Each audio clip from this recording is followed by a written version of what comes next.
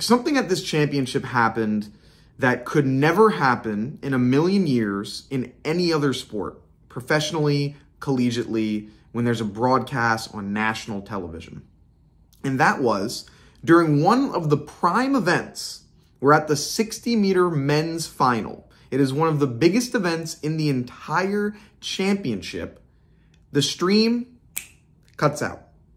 Black screen for five, six, seven minutes. We don't see what's going on. And to make this even worse, not only did the screen cut out during a very crazy race in a race that everyone wants to see, there was already an issue that happened that that what five minutes before, which made everyone wonder what's going on because there was the potential false start and everyone had to get called back. They had to run it again. We didn't know what's going on. And so not only do we have five minutes of radio silence, the screen cuts to black, we get a wide view of the entire arena, you know, one of the things where you show when you're entering into the facility. And then it, we don't see the race. The final happens. We don't get to see what happened. Uh, the only thing you get is a, a view after the fact of the, the final race.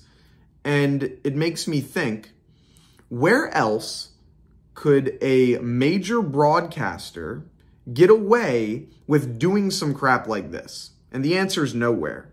Do you think for one second that during March Madness or during the national championship in football or any playoff game in college sports or anything like that, that they would be able to just say, you know what? It's there there's 5 minutes left in the second half. This is there's 5 minutes left in, you know, the championship game. It's overtime, whatever it is. We're going to cut the screen. No one's going to know what's going on. And then the only way you're going to find out what happened is through a video clip that, that get, gets posted later. Do you think that the sports world would be like, you know what? That is fine with me. I'm just okay with missing out on the entire championship. I don't care.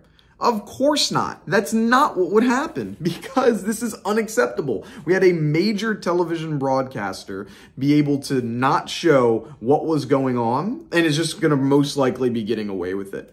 And so it was just a huge issue and a big problem. We've seen this issue in the for NCAA championships before. What really sucks is if you go back to my old podcasts, actually this exact one at the NCAA championship last year for indoors, I praised the NCAA on how great the quality was. Like this this meet last year was fantastic. The way that they had uh, a television broadcasting where they showed just the field events during a time before all the racing events happened, and you could see all the jumps going on, and then they had really good shots and cameraing. They did a great job last year.